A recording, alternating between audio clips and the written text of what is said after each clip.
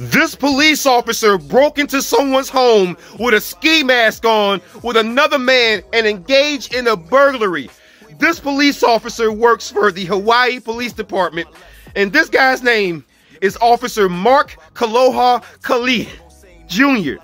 And now this police officer is facing those burglary charges and also these assault charges for allegedly assaulting a 20 year old. And this man was taken into custody on last Friday by fellow Hawaii police officers. And this man, along with another man, broke into someone's home. And then the grandfather of the victim pulled off the mask and said, Wait, hold on. Ain't you a cop? Lord, Blue Lives Matter, is this your man's? This is an insane story. Oh my God. The fuzz are doing the robberies.